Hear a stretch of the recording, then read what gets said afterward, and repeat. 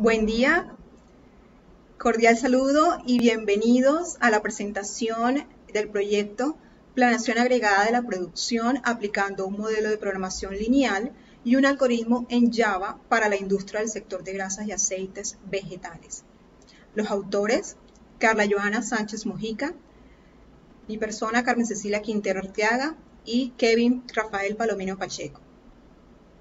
La planeación agregada es un método más económico de planificación de la producción para satisfacer las necesidades de los clientes y satisfacer la demanda a lo largo del horizonte de planificación. Esta investigación eh, se desarrolla eh, dentro del marco de eh, mejoramiento de procesos en una empresa de grasas y aceites del sector de Palma y busca desarrollar un modelo matemático de planeación agregada de la producción que permita calcular las cantidades a producir en tiempo ordinario y en tiempo extraordinario, de tal forma que se minimice los costos de producción. Se presenta un estudio de comparación de los resultados obtenidos por medio del software Ample y el algoritmo diseñado en Java para solucionar el modelo propuesto. Se realizó una revisión de la literatura acerca de eh, estos modelos de planeación de la agregada de la producción y encontramos que eh, han habido varias aplicaciones en varios sectores de la producción. Eh, por ejemplo, el que estamos viendo en el 2005, se hizo un modelo para la planeación agregada en empresas dedicadas a la reparación de motores diésel para la industria azucarera cubana. Luego DaPoint en 2009, eh, un modelo de planación agregada para una empresa de lácteos, eh, muestra a través de la organización los recursos disponibles para realizar un proceso de acuerdo a las necesidades del mercado. Herrera, eh, Escobar y Cabrera en el 2013 presentan un modelo de tamaño de lote con múltiples productos para una compañía manufacturera considerando demandas, políticas de inventario, costos de despidos y búsqueda del uso eficiente de recursos, máquinas y mano de obra. Castañeda en el 2013 realiza un proyecto donde se planifica la producción aplicando modelos de programación lineal y teoría de restricciones para una industria del sector metal mecánico. Por su parte, Sotelo, Mula, eh, y González en el 2017 proponen un modelo de programación lineal entera para planificación de la producción de un conjunto de artículos finales con demanda independiente, contemplando costos de producción, costos de inventario, así como las restricciones de instalación y tiempo de producción. Y por último, eh, los autores en el año 2017 que vemos en pantalla presentan un análisis y optimización del proceso de producción en una empresa procesadora de leche con el principal objetivo de minimizar los costos totales de producción. Con la revisión de literatura que hicimos eh, para realizar este proyecto encontramos que en la industria de eh, grasas y aceites no se ha encontrado em, diseños de estos modelos de, programación lineal, eh, de, de, planeación agregada a la producción. Por tanto, vimos em, pertinente realizar este, desarrollar este proyecto en, aras de encontrar ese eh, modelo matemático que nos ayude a optimizar los costos de producción. La empresa objeto de estudio pertenece al sector de grasas y aceites vegetales, cuyos procesos abarcan desde la extracción de los aceites de palma y palmiste, la refinación física y el fraccionamiento de los mismos para la obtención de oleínas y estearinas con diversas características y distintos usos hasta la elaboración de margarinas y grasas especiales con altos estándares de calidad. La planta de margarinas cuenta con 24 operarios en dos turnos, 12 operarios en cada turno. La jornada laboral ordinaria corresponde a 8 horas diarias por turno. Por requerimientos de producción se requiere extender la jornada haciendo uso de las horas extras y dominicales. El objetivo de esta investigación es desarrollar un modelo de planeación agregada que permita calcular las cantidades a producir en tiempo ordinario y en tiempo extraordinario, de tal forma que se minimice los costos de producción en el horizonte de planeación para la planta de margarinas de una empresa de grasas y aceites de palma. La metodología implementada para desarrollar este modelo eh, consta de cinco fases que establece la lógica em, del proceso que nos conduce a desarrollar este modelo de planeación agregada de la producción para la planta de grasas y margarinas. Tenemos una fase inicial, fase 1 de contextualización, donde realizamos toda esta revisión de literatura, donde eh, tomamos eh, los datos eh, del proceso, caracterizamos todas las variables a utilizar en el... Luego hicimos una fase, pasamos a la, a la fase 2, diseño del modelo de planeación agregada, que ya lo vamos a ver. Luego, después de ese diseño matemático, procedimos a la, programación computacional utilizando dos herramientas. Una, em, programándolo en el software licenciado Ample, eh, que nos sirve para eh, estas optimizaciones. Se cargan eh, el modelo matemático y con base a ese modelo matemático em, establecido, busca em, minimizar esa función objetivo y dar los resultados de las variables de decisión. Y eh, en paralelo realizamos el, algoritmo, diseñamos el algoritmo en Java eh, con base a ese modelo matemático. Hicimos comparaciones entre ellos y llegamos a unos hallazgos importantes. El modelo matemático de la planeación agregada de la producción Em, que estamos mostrando aquí y para el caso particular em, de la empresa de grasas y aceites, em, tenemos eh, que es relevante para sistemas de producción multiperiodo y multiproductos. El horizonte de planeación eh, está definido para seis periodos. Eh, recordemos que este, esta planeación agregada de la producción es para programaciones a mediano plazo, de unos periodos de 3 a 18 meses, dice la literatura. Entonces hicimos esta planeación para eh, el periodo de 6 meses posteriores. Estos seis periodos están simbolizados en el conjunto de índices T y el conjunto de productos está simbolizado con los índices del conjunto N.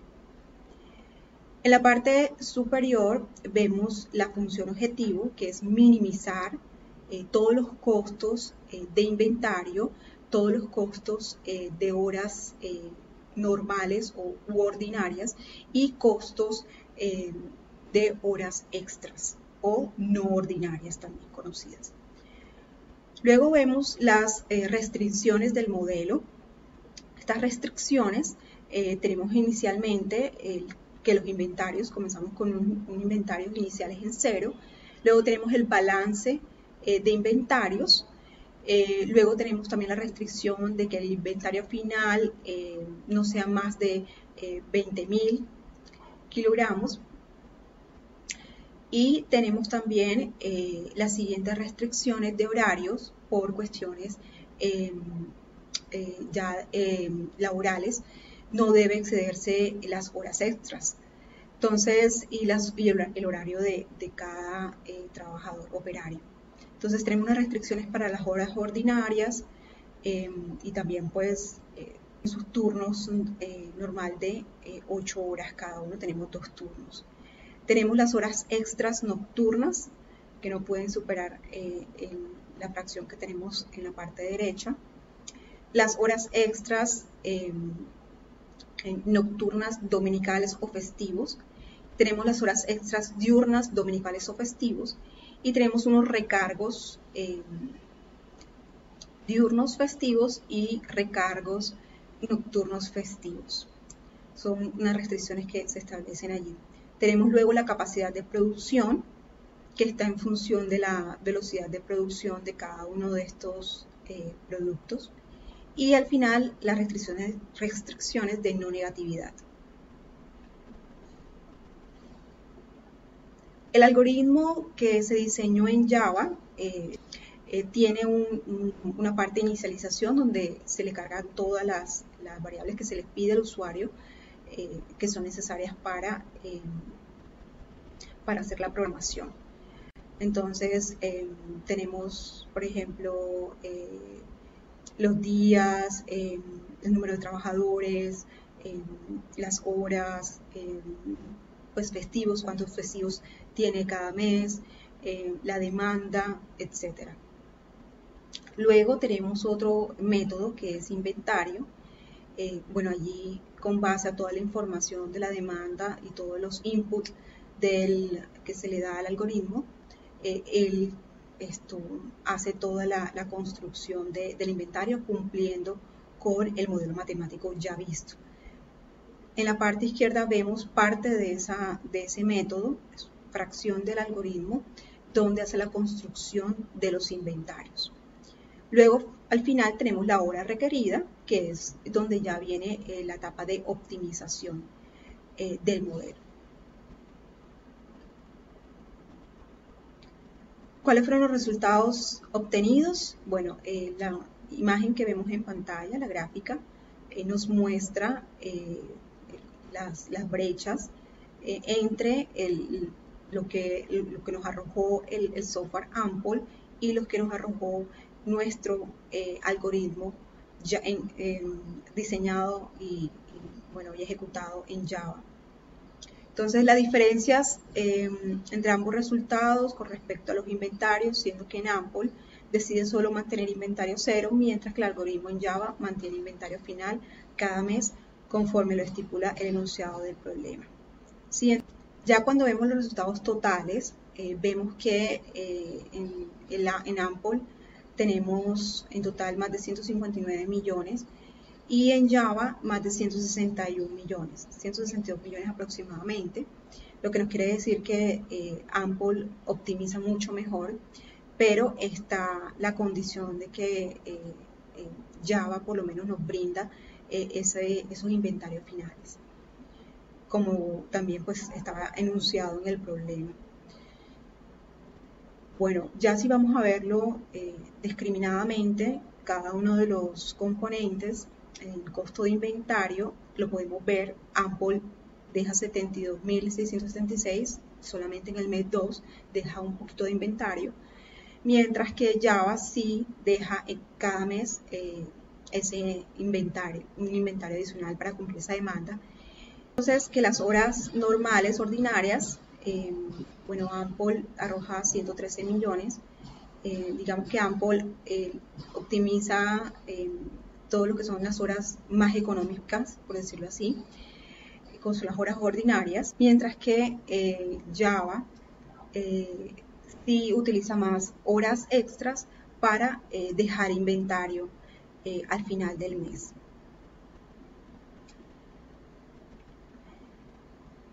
Esas son otras gráficas. Eh, aquí vemos eh, la diferencia eh, de aproximadamente 1.5%. por ciento. diferencia de Java superior a Ample en aproximadamente 2 millones, un poco más de 2 millones de pesos. Vemos en el lado izquierdo la gráfica que los costos de horas extra ordinarias y vemos que Ample eh, disminuye en lo que son horas extras eh, nocturnas. ¿sí? Y eh, aumenta un poco más lo que son horas de, de, extras de domingos Java. A diferencia, nuestro algoritmo Java no tiene horas extras dominicales nocturnas. Se desarrolló un modelo de programación lineal que se puede utilizar para calcular la solución óptima en industrias con características similares al caso de estudio. Eh, se presentó un algoritmo construido para la empresa que le permite optimizar sus costos y no pagar licenciamiento de la planificación que se realiza y resolver este problema. Para verificar la efectividad de los enfoques computacionales presentados, se realiza una comparación entre los resultados presentados por el software licenciado Ample y el construido, evidenciando que la diferencia de resultados es despreciable y este último aporta al direccionamiento estratégico de la empresa dentro de un tiempo computacional razonable. Es una herramienta eh, muy útil porque eh, permite a las compañías tomar decisiones basadas en la economía de la eh, organización. Muchas gracias.